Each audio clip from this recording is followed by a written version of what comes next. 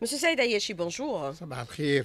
Alors, le gouvernement espagnol vient de prendre une décision surprenante de soutenir la proposition marocaine d'autonomie pour le Sahara occidental. Quelle première lecture peut-on en faire sur le plan, d'une part, l'évolution du dossier sahraoui et sur le plan régional? Monsieur Ayeshi. Euh, effectivement, le gouvernement espagnol vient de prendre euh, une décision qui, à mon sens, d'abord, est une décision indigne une décision grave, dangereuse, je dirais même à la limite irresponsable. Elle est indigne parce que euh, c'est encore euh, une deuxième grande trahison euh, pour le peuple sahraoui après les funestes accords de Madrid de novembre 1975.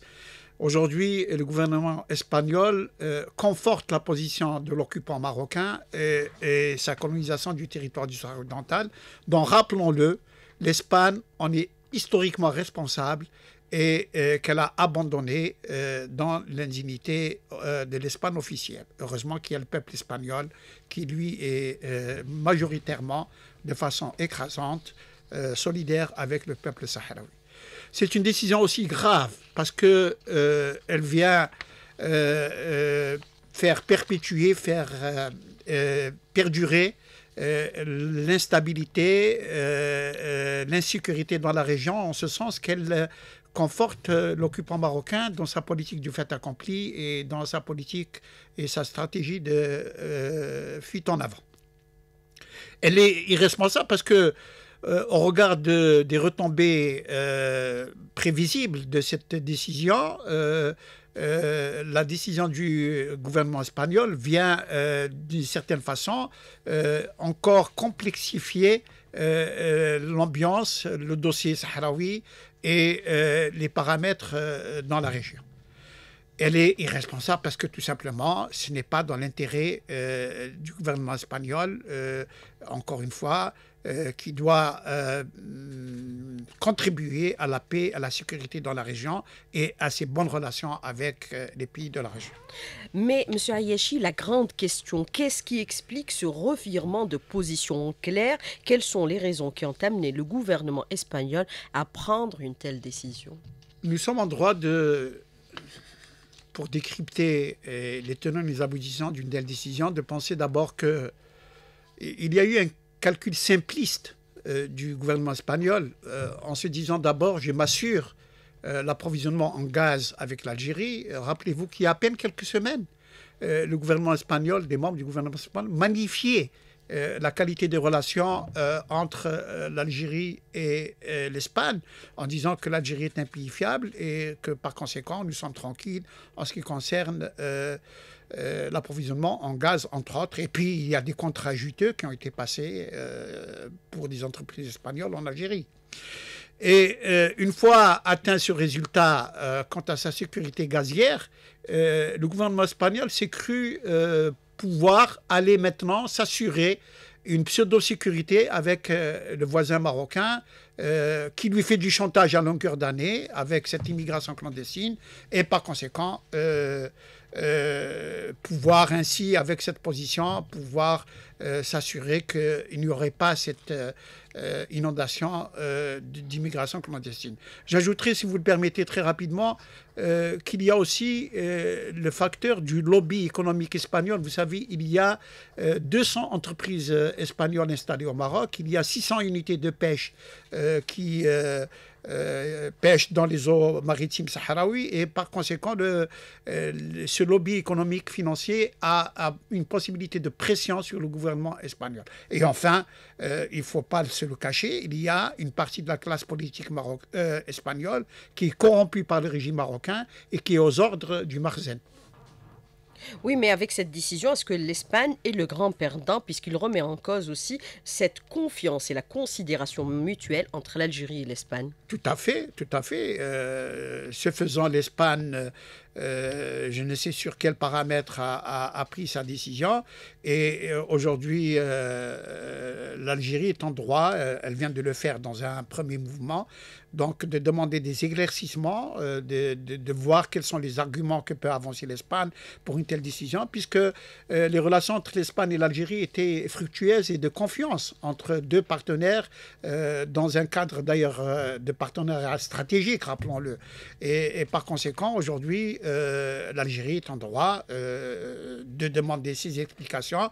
Et bien sûr, cette décision n'augure pas, j'allais dire, une embellie dans les relations euh, entre l'Algérie et l'Espagne. Bien au contraire, euh, les choses peuvent aller de mal en pis. Et évidemment, euh, l'autre question la plus importante, c'est que cette décision du gouvernement espagnol vient d'une certaine façon encore aggraver la situation d'instabilité dans la région. Mais euh, justement, euh, cette décision réitérée également récemment par les responsables espagnols qui ont séjourné récemment en Algérie. Mais au regard de sa responsabilité historique dans le conflit du Sahara occidental, M. Ayashi, l'Espagne, par cette décision, ne se soustrait pas vis-à-vis du peuple sahraoui pour le parachèvement du processus de décolonisation du Sahara occidental. Pour rappeler et pour que les auditeurs le sachent, c'est le dernier pays colonisé sur le continent africain, au niveau du continent africain. Bien sûr, euh, figurez-vous que sur le plan juridique, de façon officielle, euh, l'Espagne est encore euh, la puissance administrante du territoire du Sahara occidental au regard des Nations Unies et de la communauté internationale.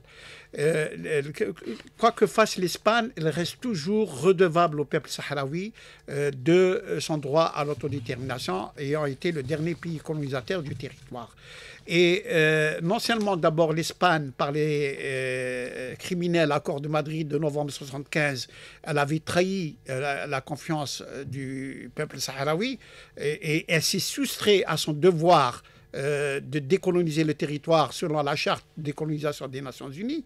Mais aussi, aujourd'hui, évidemment, je passerai sur d'autres déjà euh, j'allais dire, euh, petite trahison de la part des gouvernements successifs espagnols ici et là, mais euh, cette, position que vient de prendre le gouvernement espagnol pour la proposition d'autonomie du régime marocain est une deuxième grande trahison du peuple sahraoui, en ce sens que jusqu'ici, la position du, gouvernement espagnol était une position euh, même si euh, quelque part on en entendait plus, euh, étant donné la responsabilité historique de l'Espagne dans le conflit, était une position qu'on pouvait juger être acceptable au regard de la légalité internationale, puisque l'Espagne répétait inlassablement qu'elle était pour l'autodétermination du peuple sahraoui.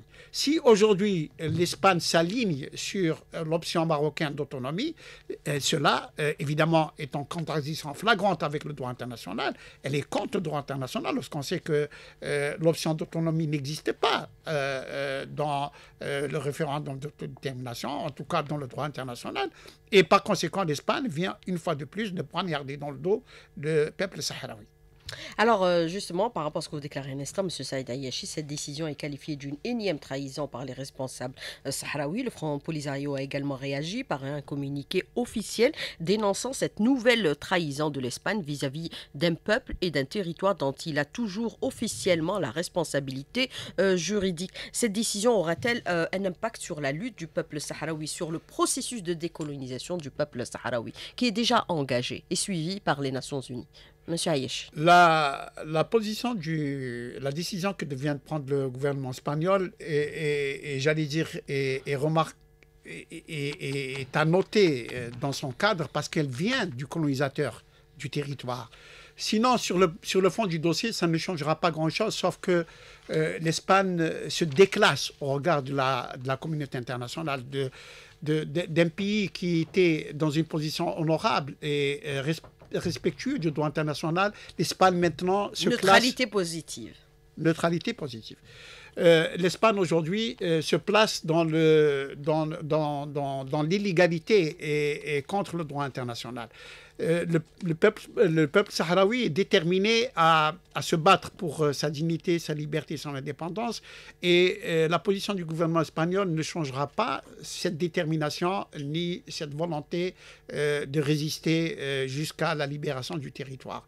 ce qui est dommageable dans cette histoire, c'est que l'Espagne vient conforter l'occupant marocain qui va continuer de pratiquer euh, sa politique du fait accompli, qui, vient, qui va encore une fois encore violer davantage les droits euh, euh, de l'homme dans les territoires du Sahara occidental, et surtout qui va encore accentuer le pillage des ressources naturelles du Sahara occidental.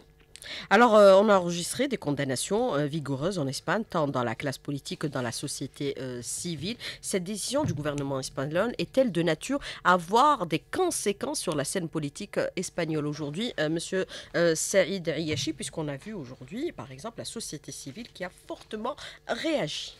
C'est clair, justement, si l'on a parlé d'indignité en, ce qui concerne le gouvernement espagnol, il, faut parler d'honorabilité pour ce qui est euh, du grand peuple espagnol, qui, dans son écrasante majorité, euh, à 85%, soutient les Sahraouis. Il y a aussi une, une, partie de la classe politique espagnole qui soutient les vues du, des revendications légitimes du peuple sahraoui. Et donc, cette euh, nouvelle position euh, du gouvernement espagnol euh, alignée sur les thèses marocaines, à n'en pas douter, vient d'une certaine façon perturber cette unanimité, quasi-unanimité espagnole en faveur des revendications des Sahraouis pour l'autodétermination.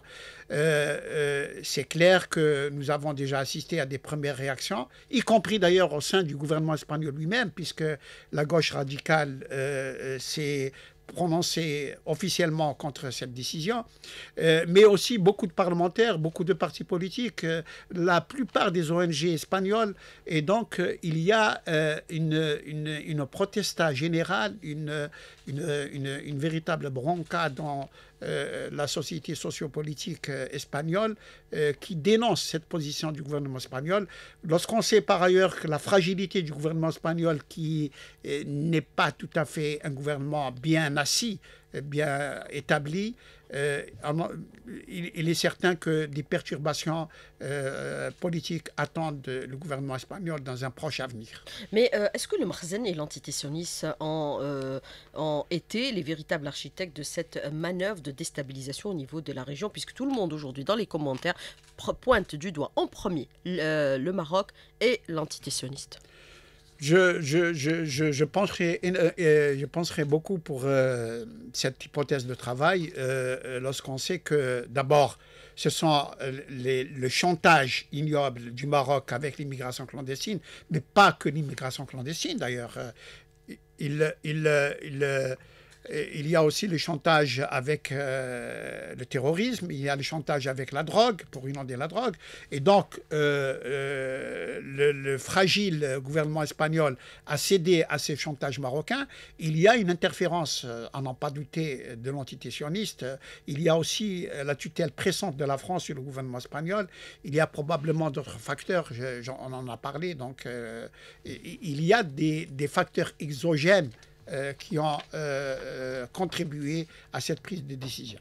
Mais pourquoi le choix de ce timing, Monsieur Saïd Ayashi, puisque cette, ce revirement de la position espagnole a été révélé par le Marzen et non pas par les Espagnols? Pourquoi le choix de ce timing? Certains disent qu'il y a une volonté un peu d'isoler l'Algérie sur, bien sûr, au niveau régional par rapport au dossier du Sahara occidental. C'est le cas ou pas le cas, Monsieur Saïd Ayashi c'est une probabilité à ne pas écarter, mais euh, concernant euh, cette, cette, cette, façon de faire du gouvernement espagnol, on, on, sait maintenant que la lettre de Pedro Sanchez pour le roi du Maroc était destinée d'abord à ne pas être rendue publique. C'était. Euh, elle a été divulguée par le Marzen. Elle a été divulguée par le Marzen dans un but d'ailleurs d'impliquer davantage le gouvernement espagnol, de, de l'impacter dans sa décision et de s'en vanter euh, publiquement ou de faire pression sur les Nations Unies qui vont dépêcher euh, l'émissaire de l'ONU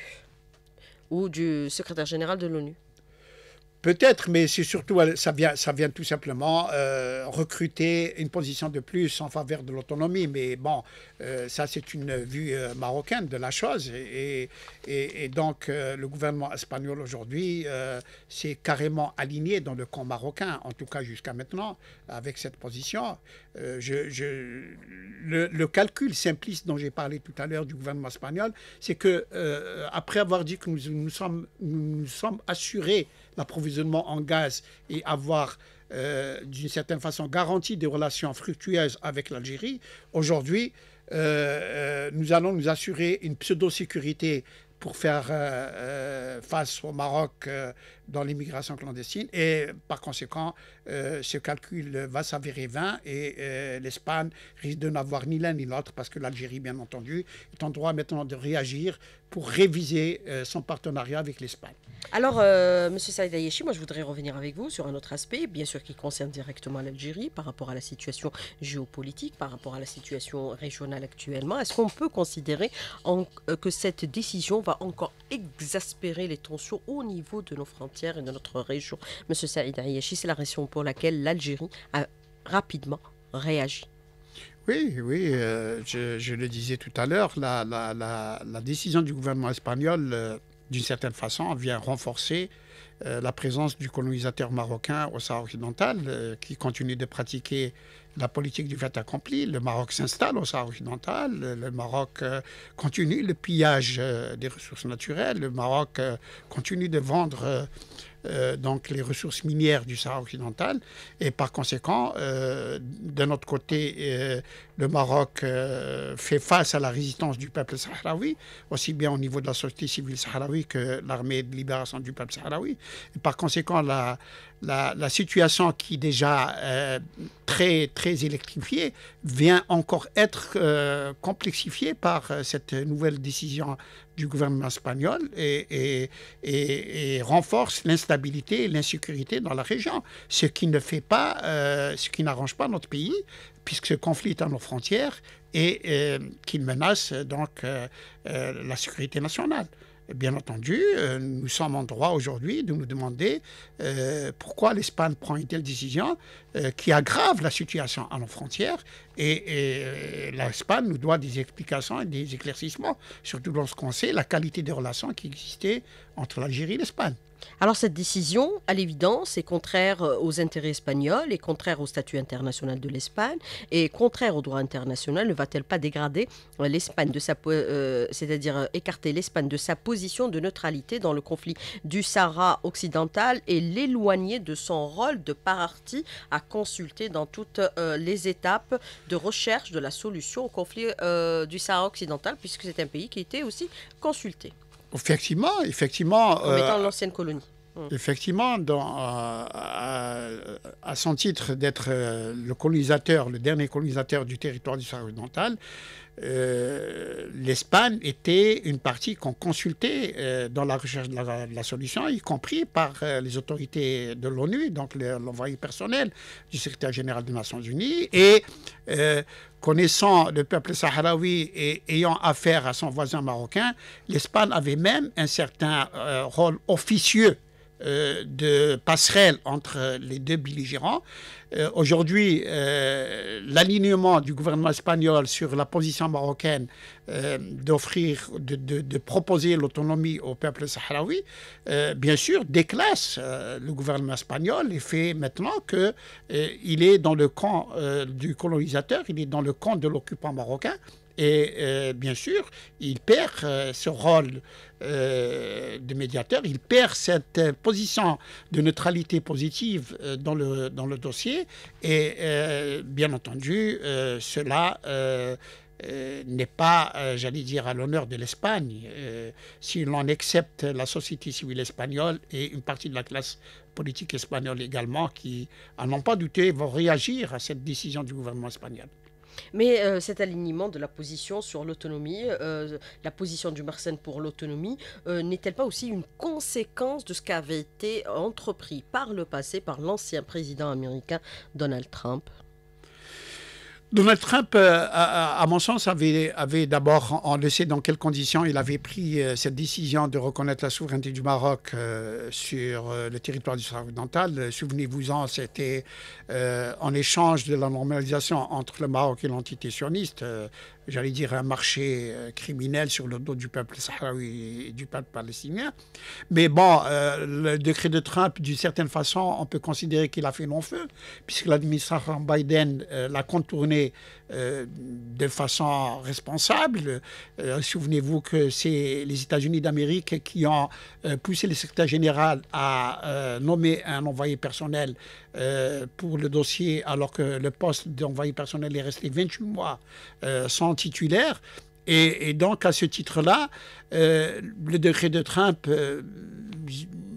surtout lorsqu'on sait euh, la levée de bouclier qu'il y a au niveau du Sénat américain, qui ont demandé euh, publiquement et officiellement à, l'administration Biden euh, de l'annuler d'une certaine façon. je crois que la position maintenant du gouvernement espagnol ne vient pas, j'allais dire, appuyer quelque chose qui n'a plus cours comme le décret de Trump, mais elle vient surtout conforter la position, conforter, en tout cas s'aligner sur la position du Maroc euh, dans sa proposition d'autonomie, et ça ne va pas faciliter les négociations à venir. Alors, euh, c'était le prix à payer, la normalisation euh, avec l'entité euh, sioniste entre le Marzen. Est-ce que c'est en train graduellement d'assurer au Marzen cet alignement sur sa position, puisque nous savons que le lobby sioniste est partout et il est extrêmement puissant à travers le monde, autant sur le plan politique que sur le plan financier. Monsieur Saïd Ayashi, c'est ça le grand danger aujourd'hui C'est l'entité sioniste. Coïncidence, il y a une coïncidence qui n'est pas fortuite euh, euh, que cette position du gouvernement espagnol, euh, j'allais arrive quelque temps, peu de temps après la normalisation entre le Royaume du Maroc et l'entité sioniste. Et donc, il faudra avoir quelque part une interférence de l'entité sioniste par des pressions d'une façon ou d'une autre sur le gouvernement espagnol, mais pas que il y a une conjonction de facteurs euh, dans euh, cette prise de décision par le gouvernement espagnol. Ce qu'il faut euh, déplorer, ce qu'il faut condamner, c'est que l'Espagne a fait fi de ses relations avec un partenaire stratégique comme l'Algérie dans la région, et surtout que la décision du gouvernement espagnol vient compliquer un dossier qui ne trouvait pas déjà de solution depuis 40 ans.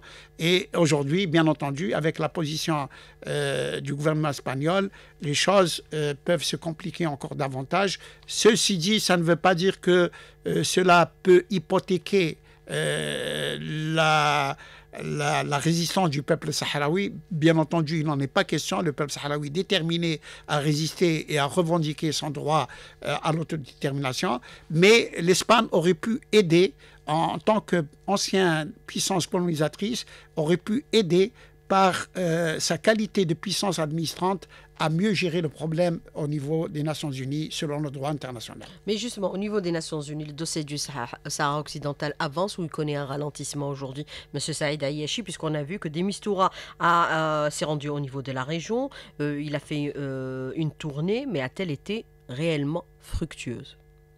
Je crois qu'on avait, en tout cas j'en fais partie de ceux qui avaient une certaine appréhension euh, quant à la nomination de M. Demistoura. Euh, non seulement d'abord euh, intuité personnel, de par sa personne elle-même, mais aussi euh, du fait que le Conseil de sécurité ne doit pas tracer un agenda euh, précis avec des étapes fixées à l'avance et des résultats à avoir. Donc M. Demistoura a été nommé, il est venu, il a fait un tour, il a écouté les gens, il est parti.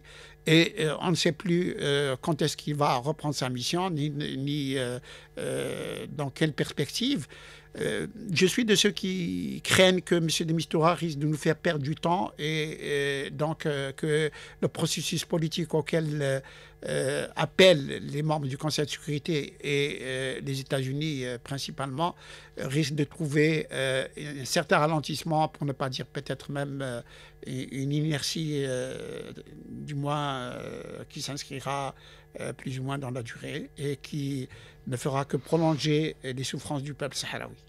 Alors, vous avez cette déclaration de M. Euh, Rahabi qui dit aujourd'hui que la décision du chef du gouvernement espagnol, Pedro Sanchez, autant que le coup de poker de l'ancien président américain Donald Trump ou l'alignement inconditionnel de la France sur les thèses marocaines ne changeront fondamentalement rien au fond de la situation, de la situation du Sahara occidental qui dure depuis 45 ans et dans les perspectives de solution paraissent de plus en plus incertaines euh, car euh, les questions de décolonisation et d'autonomie des peuples s'inscrivent dans le temps historique et dans l'actualité en Europe et dans les calculs ponctuels euh, de géostratégie. Quel est votre commentaire justement par rapport à cette déclaration? Est-ce qu'on peut considérer qu'il peut y avoir aussi un effet de coïncidence avec ce qui se produit actuellement sur la scène internationale, l'OTAN en guerre contre la Russie?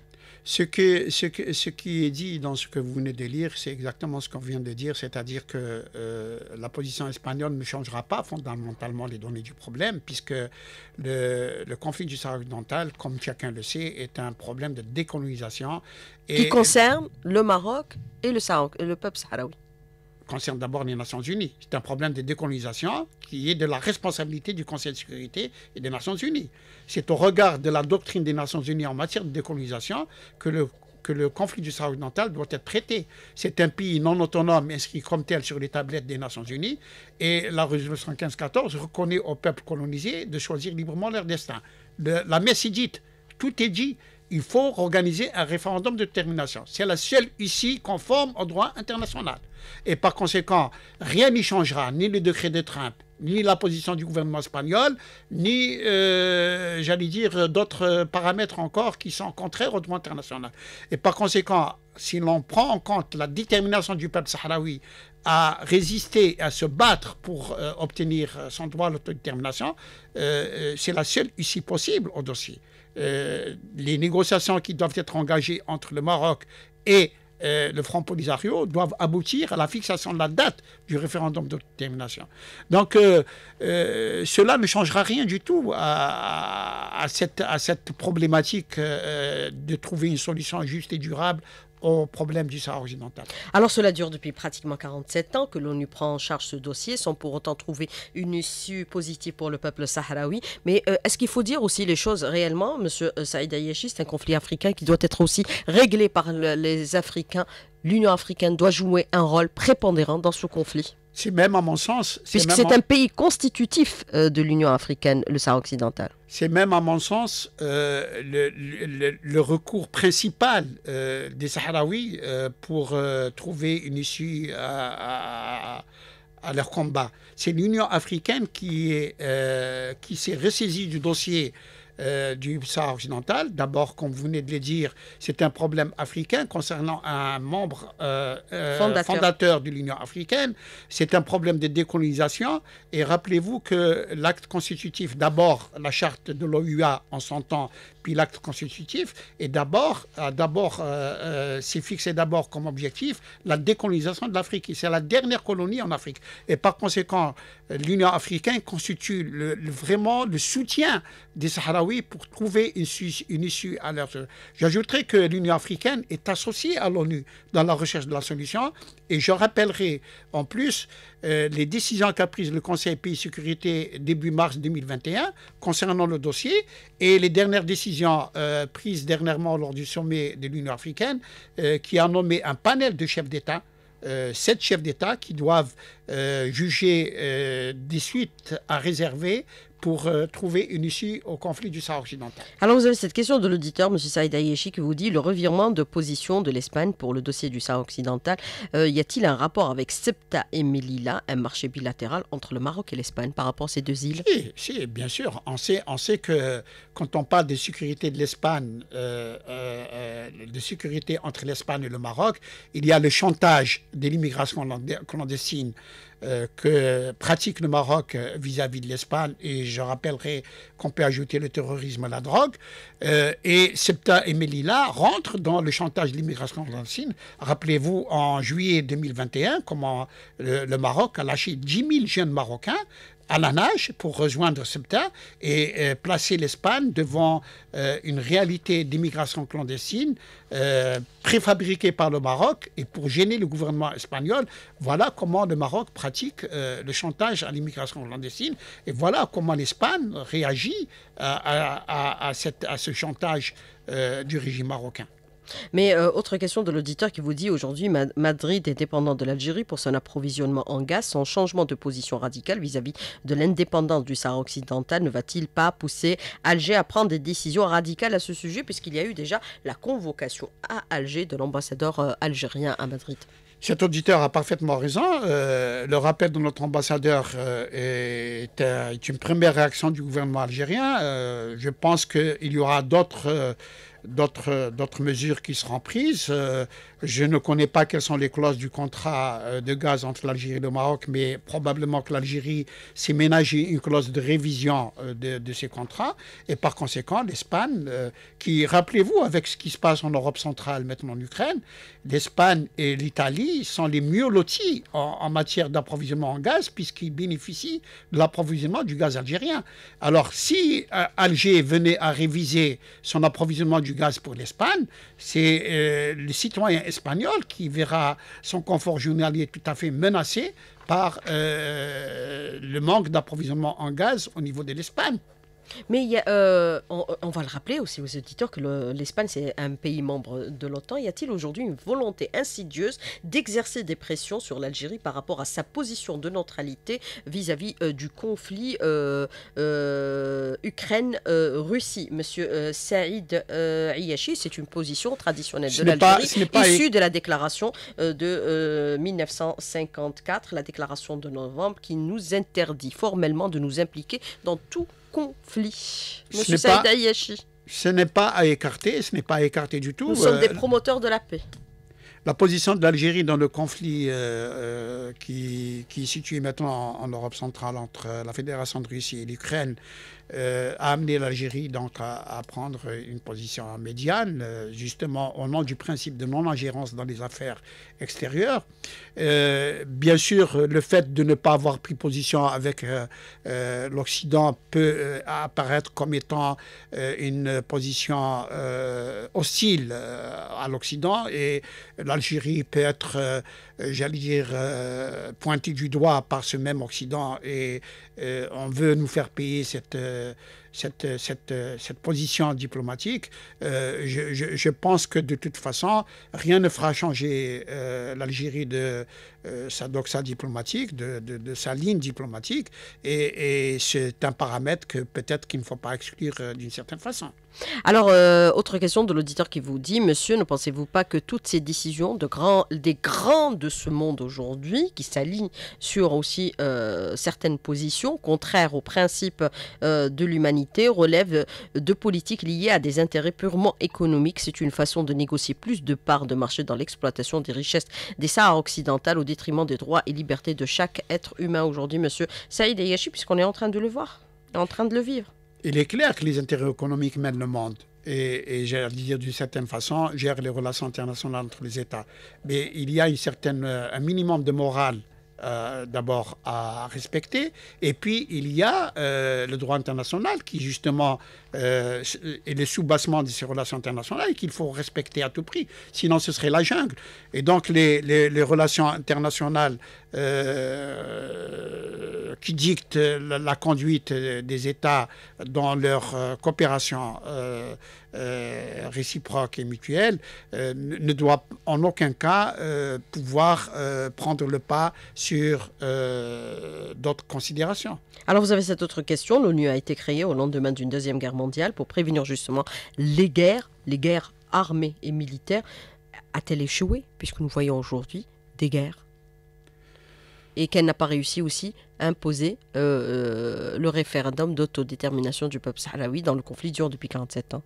Il y, a, malheureusement beaucoup à dire sur euh, le rôle de l'ONU actuellement, puisque plusieurs fois, plusieurs voix et pas des moindres ont appelé donc à la réforme de l'ONU, puisque euh, le système qui, a été mis en place en 1945 et par les vainqueurs de la Seconde Guerre mondiale, maintenant, ne répond plus, euh, j'allais dire, aux aspirations des peuples et à la réalité des relations internationales.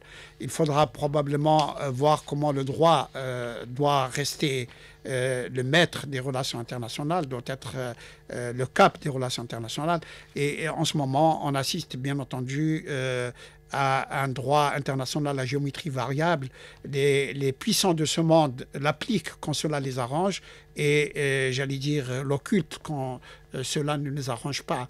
Et nous avons vu dans beaucoup de cas comment euh, le réfugié euh, d'un certain pays n'est pas le même réfugié d'un autre et comment le droit de détermination d'un pays n'est pas le droit de détermination d'un autre. Donc, Montée flagrante du racisme ces poids de mesures ne sont pas de nature à faciliter les relations internationales ni à instaurer une certaine justice et un certain équilibre dans les relations entre les États. En, clair, on est face à la loi du plus fort aujourd'hui, Monsieur Saïd Ayeshi. On peut s'en sortir que l'on comptant sur nous-mêmes, nos capacités et nos moyens. C'est le compter sur soi qui, est, qui doit être, euh, j'allais dire, euh, le cap principal. Et, et, je crois qu'il y a ce qu'on appelle euh, de façon tout à fait banalisée maintenant la réelle politique. il y a le droit international, il y a les intérêts économiques des États. Alors, euh, sur le plan géopolitique, au niveau de notre région et le plan régional, bien sûr, l'entité sioniste est un véritable danger puisqu'elle est à nos frontières, M. Saïd Ayashi. C'est le fin mot. C'est un grand danger, c'est un véritable poison qui est maintenant à nos frontières. Euh, évidemment, quand je dis ça, il, n'y a pas question euh, d'en avoir peur, il ne faut pas s'alarmer, mais il faut être vigilant. La vigilance est de mise, il faut absolument s'organiser en prenant en considération euh, ce danger potentiel qui est à nos frontières. Il faut tout simplement, euh, j'allais dire, parler d'une seule voix. Il faut euh, dépasser nos divergences internes. Il faut raffermir le front interne. Il faut absolument renforcer le front interne et surtout être d'une vigilance de tous les instants au plus haut degré tout le monde doit être vigilant par rapport à cette présence au niveau de nos frontières. Monsieur Saïd Ayeshi, merci d'avoir répondu à nos questions, d'avoir été en direct avec nous ce matin dans le studio. Merci beaucoup, bonne journée, à bientôt, Au revoir.